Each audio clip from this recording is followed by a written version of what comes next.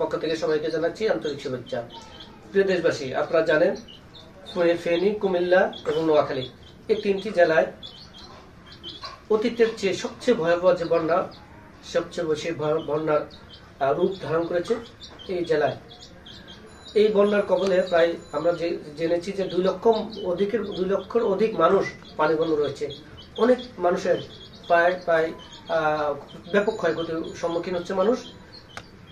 ইতিপূর্বে আমরা দেখেছি যে সিলেট, সুনামগঞ্জ সহ বিভিন্ন জায়গায় যে বন্যা হয়েছে এই বন্যায় সারা দেশের মানুষ আন্তরিকভাবে ঝাঁপিয়ে পড়েছে এই বন্যাত্ম মানুষের পাশে।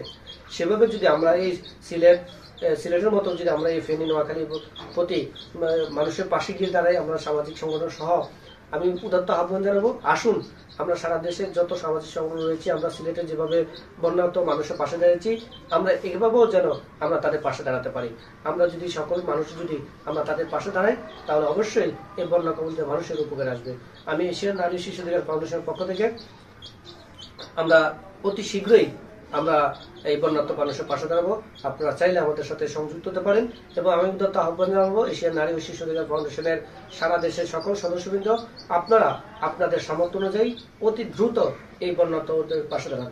এটা আমাদের সকলের কাছে আহ্বান। পাশাপাশি আমি সেনাবাহিনী সহ সরকারের সরকার এবং সেনাবাহিনীর, সেনাবাহিনীকে, সেনাবাহিনীর প্রতি উদাত্ত আহ্বান জানাব। তারা যেন অতি দ্রুত এই বন্যা কবলিত মানুষের পাশে এসে দাঁড়ায়। তার পাশাপাশি ধর্ম, বর্ণ নির্বিশেষে সকল মানুষ যেন এই বন্যা মানুষের পাশে দাঁড়ায়।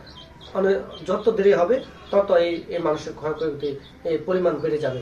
তা আমরা আর বিলম্ব না করে আসুন আমরা এই বন্যাত্ম মানুষের পাশে দাঁড়াই, যার যতটুকু সামর্থ্য আছে, সেই সামর্থ্য অনুযায়ী আমরা তাদের পাশে দাঁড়াই।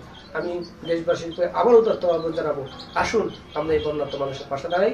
এদের পাশে দাঁড়িয়ে আমরা আমাদের মানবতার হাত বাড়িয়ে দিই এবং সিলেটে যেভাবে আমরা বন্যা দুর্গত মানুষের পাশে দাঁড়িয়েছি, এভাবেই আমরা এই নোয়াখালী এবং কুমিল্লা ফেনীবাসীর পাশে আমরা দাঁড়াতে সক্ষম হব বলে আমি বিশ্বাস করি এবং আমি বাংলাদেশের সকল স্বেচ্ছাসেবী ভাই বোনরা আপনাদের প্রতি আসুন আমরা আপনার যার যার যতটুকু পারি আমরা তাদের ততটুকু নিয়ে আমরা তাদের পাশে দাঁড়াই।